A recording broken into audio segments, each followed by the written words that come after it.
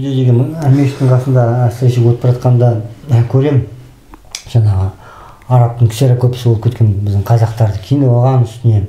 Оның ішінде жаңағы қыз баладары бар үстіне жамылып алған орамалы бар қарайсың. Бірде мен өсіген не істейтін болдым? Аяқтарына қараймын да. Иә. Аяқтары деген сандал сандалимен жаңағы аяқтары ашық мәсі жоқ ұрып бара жатыр бірден білесің киімнің құдіретіне хикметіне кездеспегенін түсінесің Иә. өйткені аяқты жалаңаяқ ұстау жол- мүмкін емес. Қазақта иә ол вот қазақта бір ақ сөзбен айтқанда жәннат әйелдің табанының астында деген да. Неге? Жәннат деген не ол? Жан, соны Құр- құранда болатын. Енді жәннат деген ұғымды біз ойлаймыз да жәннат деген ол алла тағаланың бір бөлек бір мына бір мемлекет бір құрып қойған дейміз да. Жәннат деген сенің жаның. Соны құранда айтқан. Мұсылмандардың жанын жәннатпен айырбастап алдым деген. Яғни әрбір мұсылманның жаны ол жәннат сондықтан әрбір мұсылманның жаны мына өзіне ол мына бізден мына орын дейді философияда кеңістіктен біз біз орын алуымыз керек сарай салуымыз керек. Ол сарайды немен саламыз? Біз өзімізден шыққан мына іштен шыққан жарығымызбен мына денемізбен сонымен біз сол сарайды саламыз. Ол жәннатта сарайда адамның бәрі өзінде. Сөйтіп барып біз сөйтіп сол жәннат сарайларға қосылып бір қауым боламыз. Кейін. А егер де сен өзің де сен жаның жәннаттық болмайтын болса сен қаяқтан жа- жәннатқа сондықтан енді аяқ? Аяқ деген ол біз жерден пайда болғаннан кейін аяқ деген адам баласының тамыры ғой жерден нәр алатын. Біз жерден үнемі нәр алып тұруымыз керек туған жерімізден. Сен жалаң аяқ жүрдің ба болды сен жерден ажырайсың. Өйткені әр жерден бір жерде гипротогендік дейді бір жерде гипрогендік дейді. Яғни қуаттар шығатын орындар бір жерге әртүрлі малдар көміледі сасық иістер шығады. Сен аяғыңа оралады болды. Аяғың өрісін бұзады табаның терісі тозады. Аяғың өрісі бұзылғаннан кейін сен жерден ажырайсың жерден ұрықтан хабар келмейді қуат алынбайды. Сен енді не істейсің? Кез келген кеңістіктегі қуаттармен жаңағы қоректене бастайсың. Яғни сен денең құрттай бастайды мінекей. Үстіңе сасық иістер шыға бастайды. Мен осындай жағдай менің хикметіне көп жолығамын бір автобуста отырды бір әйел. Түріне қарасам ол вот керемет бір жаңағы киініп алған хиджаб киген мойнын жапқан бәрі. Сөйтіп бірақ үстінен енді еркектің ұрығының иісі шығып тұр. А бұның бұл күйеуі онда мен өзім бірден ойыма келді. Бұл өзі киінгенмен де күйеуінде ол ондай дін ұстанбайды. Дін, дін ұстанбайды. Сосын осындай болып тұр қорталмай тұр. Ана жын ғой енді тұрған. Сөйтіп аяғына қарасам аяғы жаңағыдай. Жұқа жалаң аяқ неге кие салыпты сосын бір кезде біраз неғында ана орын босап еді ана алдында біреу айт келсе келсе деп пәленше деп шақырып жатыр да қол бұлғап. Сөйтіп қарасам сақалды қойып алған мұрт жоқ. Қол деген жеңілгеннен түрелі жалаң бас аяқты жалаң аяқ неге нені іле салған еркек соның күйеуі екен. Масқапшы айналып кезде сол кезде барып түсіндім а мынау екен ғой деп. Көрдің ба анау тұрған еркек жынға айналып кеткен ғой. Үстінен ана әйелінің үстінен енді қорыта сасық иіс шығып жатыр мінекей. Жаңағы хикмет айта кетейін аға жерден жалғанбаған түрде иә мен мәсімен үйде жүремін иә. Қазір деген туфли киемін аяғыма носкимен бірақ аяғыма жылы носки киюге тырысамын осы қазір отырғанда міне отыра алмай отырып молдамды құрып алдым аяғымды Иә. тығып алдым да. Иә. отырсыз ғой міне да. О- аяғым тығып өйткені аяғым сыздатып отырғызбайды да. бір ремонтизм сияқты отырғызбайды аяғымды жылы ұстау керекпін ол хикмет емес пе? хикмет қой. Енді сол енді сен қазір мысалы салыстырғанда негізінде сен біздің топтан емессің. Сен әлі біздің топқа осы дайындық тобынан. Бірақ сен қазір өз сауабың бар осы ы, ата жолының мынау жазбасын ата жолының ы, білімін таратуға қызмет жасап жатқаннан кейін саған біз енді бір жеңілдік беріп қойдық. Әйтпесе біздің өзіміз шартымыз қаған біздің тобымыз міндетті түрде ол мәсін сен шешесің бе соны бізден емес. Ы, бірақ енді өзің сияқтылар бар енді кел қызмет жасап әйтеуір ордаға келгенде біз енді соларға шамалды болса жеңілдік береміз. Ал негізі мына зікір келген кезде мысалы сені біз зікірге ешқашан да қатыстырмаймыз. Болмайды. Өйткені сен енді а, туфли киесің ананы шешесің көрдің ба өрісің бұзылады ұрылады шабылады. Оны қайтадан жағасың сөйтіп арпалыста жүрсің. Бас киімді тұрақты кигенмен де аяқ киім аяқ киімді мен туфлиға мәсі мәсімен жүремін негізі. Бірақ туфли кигенде мәсі симағасын қалың носкимен киемін да. Енді сол ғой сондықтан енді оны қалай да амал енді галош кию керек ондай кезде. Мысалы сен галош киіп сен мекемелерге бара алмайсың. Алмаймын, иә. міне сол ғой енді. Осындай жағдайда алла тағала осылай сын- сынақ қояды да. Кімге қандай бір жақсылық берді оған қолынан келмейтін нәрсені ұсынбайды. Қолынан келеді бірақ ол өте қиын. Мысалы қазіргі заманда енді шынында көбіне қиын жаңа өйткені жұрт мынау не болып кетті деп айтады деп көбі сонан қылады да. Бас киімнің өзінен ұялады көшеге шешіп алады мына жастар болсын қандай болсын. Әйелдер орамал тартуға енді мынандай тағы не біздің арамызда біздің томымызда осында қамшалған тазарудан өтіп сөйтіп жүрді да және аққу ғой енді сосын айтады аға дейді мен дейді мойнымды жаба алмаймын дейді. Неге дедім ғой енді? Сен егер мойын жаппайтын болсаң онда әрі қарай болмайды қамшы тоқтайды болмайды деп. Мен жол мойын жабамын себебі менің күйеуім оған сен орамал тартсаң тарт бірақ мойның жапқаныңа мен қарсымын деп айтты дейді да. Туған туыстар енді мен енді бұндай жағдайда мен күйеуім айтқанын істемесем тағы қалай болады? деді. Істеймін деді. Мақұл дедім өзің біл дедім. Ондай осы солай жүре бер. Біз енді сені мына құранға жалғауға ол амалдарға біз сені қатыстырмаймыз. Болмайды деп. Сөйтіп жүрген кезде осыдан енді жарты жылдан аса өтті уақыт жетсе. Тағы хабар келді. Осындай дейді мен дейді бір жа- қиын жағдайға түстім дейді не ол? Түнімен ұйықтай алмаймын дейді. Күйеуім қасымда күзетіп отырады дейді. Мойныма келіп жәндіктер келіп жабысқан шошып ойнамын дейді. Қылғынамын дейді. Келеді да жәндіктер оралып мойным қылғындырады дейді. Сосын ұйықтамай қарап отырамын дейді. Сосын күйеуім аңдып отырады деді мен айттым енді не, не бұдан артық не бар бұл хикмет деген осы ғой енді күйеуің айт сені сол иә сені өлтірсін осылай. Мойның жаптырмай я өлтірсін? Я болмаса енді мойның жауып сол күйеуің айт мінекей. Осындай жағдай. Соның күйеуінің саған кесірі болып тұр ғой. Деп. Енді бұл деген не? Бұл хикмет қазір бір ақ адамға осылай түсіріп ескертсе ол ойлайды енді пәленшеге түсті маған келмесе құдай маған ескертеді деп. Жоқ. Бізге келген хикметтер мысалы сен қазір осыны айтып отырсың ғой аяғымда осындай. Осы хикмет саған ескертті ма? Сенде ғылымның дәні бар саған ескертті. А қалған 100 айболатқа ескертпеуі мүмкін. 99 айболатқа өйткені сол 99 айболат ана бір үй- үйрену керек. Исламның бірлігі деген сол. Біз кімде алланың хикметіне жолықты сол алланың хикметіне жолыққан адамнан біз сол хикметті үйренуіміз керек. Міне осылай қылып жаратқан. Сондықтан енді маған намаздың хикметін көрсетті ма енді соны кез келген ана намаз оқушыға имамдарға сол намаздың хикметін бірден бере салады деген ол болмайды. Ол сол мен сол хикметке қалай жеттім? Олар соны үйреніп барып олар сол хикметке жету керек. Әрбір хикметтің өзінің сондай білімі болады. Сол хикметтің білімі ата жол хикмет деп мына біз мына зікірмен жазылып жатқан ата жолдың жазбалары жазып жатқан осылардың бәрі хикметте тұрған яссауи бабамыздың кезінде хикмет деп қысқа нұсқа айтып кеткенін біз қазір көлем түрде жазып жатырмыз. Әрбір нәрсеге оразаның мысалы айттың өзінің хикметі бар. Мысалы соны айттың хикметін қазіргі мына бүгінгі екінші күннен бастап ертең үш күн ұстағандар олар айттың хикметін көре бастайды. Мен өз басым айттың хикметін көрдім. Ол айттың оразаның хикметі айттың хикметін дұрыстағанын көрдім өйткені айттың сол бірінші күн мен қалай ұстандым сол күні кеше бүгінгі түнде маған ой- ойымда жүрген менің орындалмай жүрген осы қалай болады деп сауалдарыма жауап келді соны қалай орындалып жатқанын көрсетті. Қуанып ояндым. Алладан үкім түсті деген сөз демек менің оразам айттың бірінші күні ол дұрыс деген хикмет осы ғой. Алладан сен жауап келу. Әрбір осылай бізбен бірге 30 күн ораза ұстаған үш күн осы айттың сонымен атқарғандарға міндетті түрде жауап келеді. Себебі біз тарауық намазды да өзінің пайғамбарымыздың көрсеткендей алланың елшінің ізіменен біз орындадық. Біз мешітке барып оқыған жоқпыз өлең айтқан жоқпыз. Біз әрқайсымыз жеке жеке орындадық. Осылардың енді тарауық намазының осындай біз қағиданың шартын орындадық па біз дәретті ұстандық па біздің арамызда болды әйелдеріміз қанша осындай тақуалық киім киінсе де арасында осы қайыз келді електер келді олар намаз несін тоқтатты оразасын өйткені оразаны мазақ қылуға болмайды сен қайыз етеккірің лас болып жүріп мен оразам алладан нұр деген сен ыдысың ғой енді ол тәнің деген. Қазір енді ыдыс жоқ. Ешқандай сол ыдыссыз жуылмақ түгі ыдыстың кәдімгі тесік тесік киімсіз жүріп сол ыдысты алла тағала ұсынып жүр да бүйтіп. Мен енді ораза ұстадым алла тағала мынау маған бер деп. Ол құранда айтқан.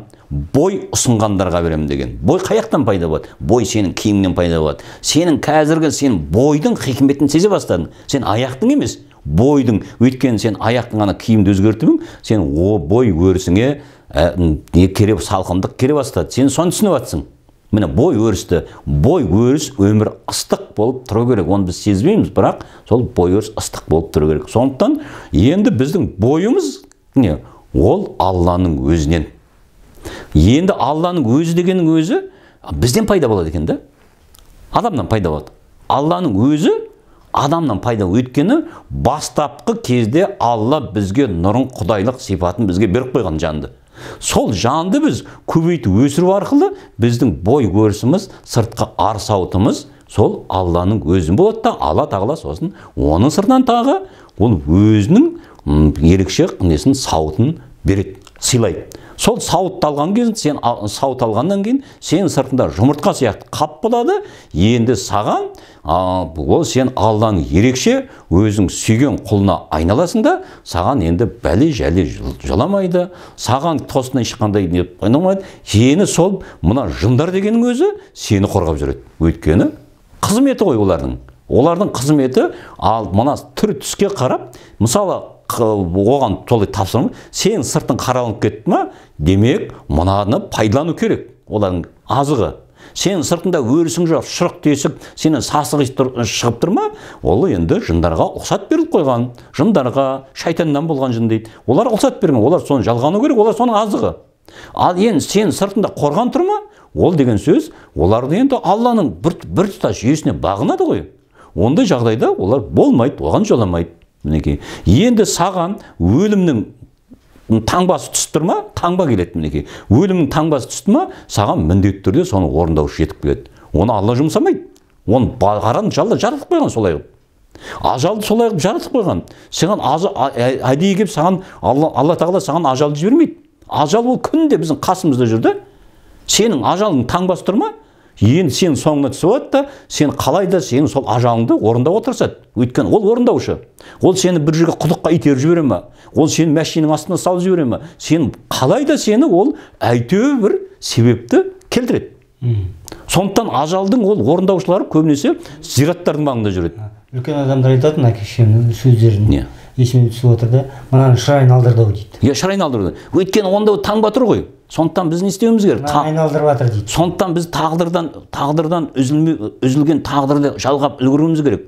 Біз сол әруақтарға жалғап сонда біздің тілегіміздің біздің осы ойымыз ниетіміз біздің бәрін оны жеткізетін тылсымдағы әруақтар өлілер. Яғни өлі ризамайды тірі байымайды деген сол. Біздің тілегімізді тез алланың алдына ұсталатын соны алланың алдында жалып алынып тұр ғой. Әруақтар болады. Біздің ата бабамыздың әруақтары бізге жеткізіп тұрады. Егер де біз ата бабамыз әруақтан отырсақ сонан кейін мен неге ма үйім өртеніп кетті мен неге осындай ұстадым мен намазым бар еді мен оразасым бар деген оның бәрі бекер нәрсе.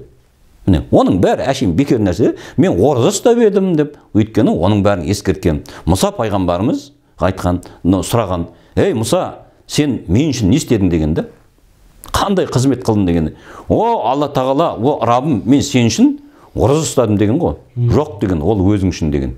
Ораза ұстасаң сен өзің үшін деген. Онда алла тағала мен раббым мен сен үшін намаз оқыдым деген. Ол, ол да өзің үшін деген. О алла тағала мен садақа бердім деген. Ол да өзің үшін деген. Сонда сұраған ғой сонда мен не істеймін сонда сен үшін? Мен не істеуім керек? деп. Көрдің бе? Осының осының өзінде не үлкен астарлы жатыр. Қазақта оны оны өлі риза тірі байымайды дейді. Яғни сен әуелі мына өлілерге қуат қосуың керек. Сен қуатыңды соларға қосуың керек. Жүктерін тазартуың керек. Соның бәрі құранда ашықтан ашық тұр ғой. Сен ата бабалардың жүгін тазартуың керек біз әке шешемізге ол өлді екен деп енді мас қапшылайық та біз қарызымыздан құтылдық алла өзі асырайды құранда тұр ғой алла өзі асырайды дейтіндегі сендер неге сөйтіп айтады деп алла өзі асырайтындарға біз неге оған қиналуымыз керек деп жоқ біз ата анамыз әке шешеміз онан кейін ар жағында біз ағайын туысымыз. Жалпы біз қазақ болып туылдық па? Қазақ ұлтына біз қуат қосуға қызмет жасауымыз керек. Біз қарызбыз. Біз жерге де суға да осы ішкен жегеміз жан жағымызға қарымыз. Әрбір сен адамды көрсең сен сен соған қарызсың ба деп ойлау керек та. Бірақ енді қарызым деп сен енді жаман адамға қылмайсың ғой. Соны әйтеуір жамандықтан зұлымдықтан құтқару керек. Қазір біздің осы айтып жатқанымыз мінекей ендігі жылғы алдымызда тағы да оразаға аман есен жететін болсақ осыған дейін біз мына ораза туралы әңгімені тоқтатпай айтуымыз керек. Келесі оразаға да сен бір жыл бойы дайындалуың керек. Бір жыл соң сен дәретіңді қамда сонда барып келесі жылы оразадан сен алланың нығметіне бөленесің деп осыны күнделікті айту керек. Өйткені сен өйткені ол жылдық намаз ғой. Орындау ғой. Қорытынды. Қорытынды ғой. Сондықтан сен әрбір күнің сен әр жерге түкірме ластама өзіңгі бой өркін сақта. Сондықтан сен көбірек сол бір жылдың ішінде қаншама қуат қоса аласың өзіңнен. Бой өрісіңді ұсына аласың. Яғни көлеңкенің ұзын жағын өз жағыма аламын деген алла тағала. Яғни сен көлеңкеңнен бөліп шығу керек. Сен көлеңкеңнің ішінде сөзің болады сен көлеңкеңнің ішінде ісің әрекетің болады мінекей. Сен көлеңкеңнің ішінде барлық осы алған білімің осының бәрі сол көлеңкеңде тұрады. Сол сен көлеңкең дұрыс болу үшін иман жолдас деген сол. Өліге иман жолдас сен сол көлеңкелерің өлген кезде саған иман жолдас болады мінекей. Сен сол көлеңкелерін қазір дайындасаң сен өлген кезде сол сенің жолдасың болады. Сенің білімің қылығың әрекетің сол сенің амалың сенің алдыңнан шығады мінекей.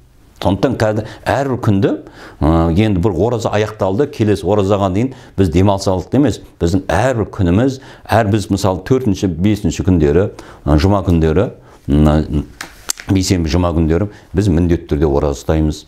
Сосын біз міндетті түрде бір жағдай бір қандай жағдай болады? Міндетті түрде арасында ораза ұстап отырамыз ол міндетті түрде. Біздің оразамыз жалғаса береді. Сосын біз айдың толар күні міндетті түрде үш күн ораза ұстаймыз. Ол айдың 12-ші 13-ші 14-ші жұлдызына біз ораза ұстаймыз. Осы айда енді маған енді тағы осы ай туралы ораза туралы ұзақ уақыт дайындалды. Мен кезінде бұны түсінбедім де неге маған айды қайта қайта көрсете беретін еді да. Аянмен көрсетеді мен соны айды зерттеймін айдың бір жарты болып тұрған не болып тұрған айдың орнын қозғалысын орнынан айға шығарып көрсетті. Айды шұңқырларды қарап тұрсам шұңқырларға жұлдыздың сәулесі түскен кезде анау іші бұрқырап қарайды да айдың содан нұрланады екен да. Ай күннен нұрланбайды екен. Ана жұлдыз конус сияқты бір не қылған мынандай шұңқырлар бар екен айдың ішінде. Сондай шұңқырларға жұлдыздың сәулесі түскен кезде ананың ішінен бұрқырап тұрып қайнайды екен. Бу сияқты болып шығады да айдың біздің нұры сол екен. Ана шұңқырдан шығады екен. Ол шұңқыр терең өте сондай. Соны көрсетті. Сөйте сөйте барып мына айды мен енді мына осы масхабшылардың мынандай есебін келеді ғой хижрамен сосын григорианмен осылар көбіне сәйкес келмейді. Бірде ай жиырма тоғыздан бітіп қалады. Бірде отыздан бітіп қалады ай қижрам есептегенде бұл қалай деп мен осыны қалай осы соған маған қайта қайта көрсетті. Оны әуел сен біз айдың басын көре алмаймыз. Өйткені біз көріп жатқан оған бір ғылыми оған бір не болу керек обсерватория болу керек оны хабарлап тұру керек. Мінекей ай мынандай уақытта көрінді бүгін деген. Қазақ елінде ондай жоқ. Бір. Екіншіден біз айдың кейде көп уақытта күн бұлт болады. Ол қашан батып айдың қашан аяқталғанын біз тағы да көре алмаймыз бірақ бізге мүмкіндік бар ай толған кезде көреміз да сол айды толған кезде мысалы 12 жұлдызда кертік болады қандай кертік болады 13 жұлдызда қандай болады 14-інде ай доптамалық болады 14 күн толады 15 күні сыртына нұр шыға бастайды кәдімгі бір неғыла бастайды міне осыған қарап айдың толған күнін көріп біз сонда мына мен көбінесе қате мына нелерімді қателіктерімді түзеп отырамын мына жазып отырамын үнемі сөйтемін да сол айғын толғанына қараймын да а мен бір күн ерте кетіппін. Бір күн кеш қалыппын деп сөйтіп қазіргі кезде қателеспейтін болдым. Қазіргі кезде қателеспейтін себебіміз қазір оп оңай біз құраннан сұрап аламыз. Құраннан тұрғызамын да айдың хижраның нешінші жұлдыз десең аққуымыз я сұңқарымыз айтады пәленші жұлдыз дейді. Тағы екіншісін үшіншісін төртіншісін бесіншісін сөйтіп сұрасам бәрі бір, бір, бір санды айтады. Болды болды бүгін сондай екен кейде қателесеміз. Мына нелердің қателесіп болады? Ғалымдар да қателесіп жібереді. А құдай қателеспеді өзінің уақытынан. Міне осындай осындай хикметтері бар. Бұл да хикмет енді айналып келгенде. Түсіне білген адамға.